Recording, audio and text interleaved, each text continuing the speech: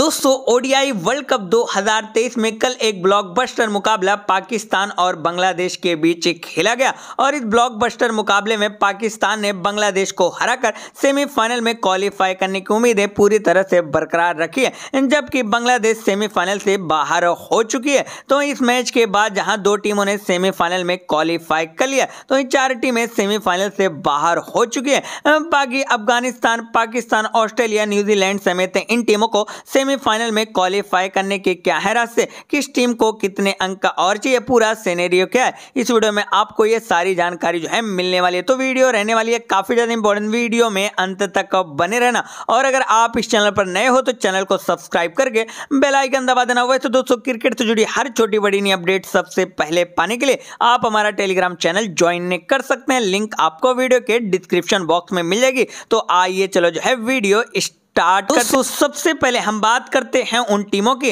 जो सेमीफाइनल से बाहर हो चुकी हैं जिनमें पहली जो टीम है बांग्लादेश। बांग्लादेश को कल के मैच में पाकिस्तान ने हरा कर सेमीफाइनल की रेस से बाहर कर दिया। बांग्लादेश ने सात मैचों में मात्र दो ही अंक हासिल कर पाई है और बांग्लादेश पहली ऐसी टीम बनी है जो ओडीआई वर्ल्ड कप दो हज़ार तेईस से ऑफिशियली बाहर हो चुकी है। दूसरी जो टीम है इंग्लैंड इंग्लैंड ने छह मैचों में मात्र दो ही अंक हासिल किए अभी तीन मैच और खेले और अगर इन तीन मैचों में इस टीम को जीत मिल भी जाती है तो भी आठ अंक होंगे और आठ अंकों के साथ सेमीफाइनल में क्वालिफाई करना बेहद मुश्किल है। और ये टीम जो है लगभग सेमीफाइनल की रेस से बाहर हो चुकी है। वही इंग्लैंड एक मैच और हारती है तो ऑफिशियली सेमीफाइनल से बाहर हो जाएगी। नीदरलैंड और श्रीलंका, ये दोनों टीमों ने छह छह मैच खेल करके चार चार अंक हासिल किए दोनों टीमों का जो नेट रन रेट है माइनस में काफ़ी खराब है। और ये दोनों टीमें जो है लगभग सेमीफाइनल की रेस से बाहर हो चुकी है। अभी आने वाले दोनों टीमों में से कोई भी टीम एक मैच और हारती है,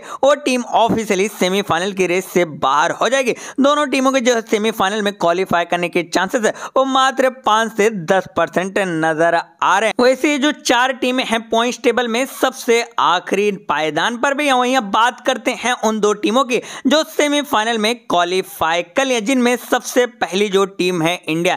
इंडिया ने वर्ल्ड कप दो हज़ार तेईस में छह मैच खेल करके बारह अंक हासिल किए। इंडिया पहली ऐसी टीम है जो ओडीआई वर्ल्ड कप 2023 में अब तक एक भी मैच में नहीं आ रही है और ये टीम 12 अंकों के साथ ऑलमोस्ट सेमीफाइनल में क्वालिफाई कर लिया अभी ये टीम तीन मैचों में से एक मैच जीत करके दो अंक और हासिल करती है तो चौदह अंकों के साथ ऑफिशियली सेमीफाइनल में क्वालिफाई कर जाएगी। वहीं दूसरी जो टीम है साउथ अफ्रीका साउथ अफ्रीका ने छह मैच खेल करके दस अंक हासिल किए नेट रन इस टीम का प्लस में सबसे बेहतर है और ये टीम भी लगभग सेमीफाइनल में क्वालिफाई कर लेगी। वहीं इस टीम को तीन मैचों में से एक मैच और जीतना है। और एक मैच जीत करके दो अंक और हासिल कर दिए। तो बारह अंकों के साथ ये टीम सेमीफाइनल में जगह बना सकती है। वैसे साउथ अफ्रीका के सेमीफाइनल में क्वालिफाई करने के चांसेस है। 90 से 95 परसेंट नज़र आ रहे हैं। इंडिया और साउथ अफ्रीका पॉइंट टेबल में टॉप पर बनी हुई है। और अब बात करते हैं उन टीमों की जिनमें से कोई दो टीम जो है सेमीफाइनल में क्वालिफाई कर सकती है।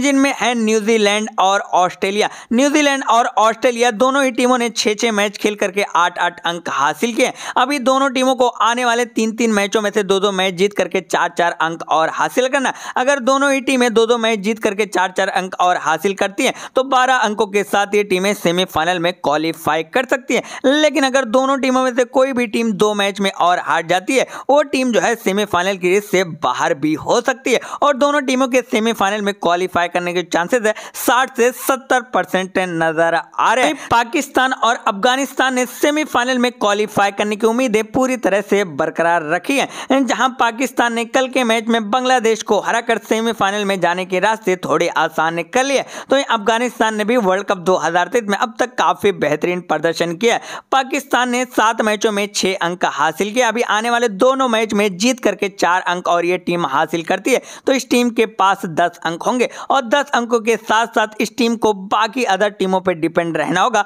सेमीफाइनल में क्वालिफाई करने के लिए अगर ऑस्ट्रेलिया, न्यूजीलैंड में से कोई भी टीम दो मैच और हारती है तो पाकिस्तान के सेमीफाइनल में क्वालिफाई करने के चांसेस थोड़े से बढ़ जाएँगे। तो वहीं अफ़गानिस्तान ने छह मैचों में छह अंक हासिल किए। अभी तीन मैच और खेले। इन तीन मैचों में ये टीम जीत करके छह अंक और हासिल करती है। तो बारह अंक हो जाएँगे और बारह अंकों के साथ ये टीम सेमीफाइनल में क्वालिफाई कर सकती है। वैसे इन दो टीमों के सेमीफाइनल में क्वालिफाई करने के चांसेस है तीस से चालीस परसेंट नज़र आ रहे हैं। तो दोस्तों, ये आप पूरा सेनेरियो ओडीआई वर्ल्ड कप 2023 के सेमीफाइनल में क्वालिफाई करने का। तो आपको क्या लगता है, पाकिस्तान, अफ़गानिस्तान, ऑस्ट्रेलिया और न्यूजीलैंड में से कौन सी टीमें रहेंगे जो सेमीफाइनल में क्वालिफाई कर पाएँगे? कमेंट करके ज़रूर बताएँ। तो दोस्तों, इस वीडियो अगर आप वीडियो पसंद है, वीडियो को लाइक कर देना। चैनल को सब्सक्राइब करके बेलाइकन दबा देना। Thank you so much get for watching this video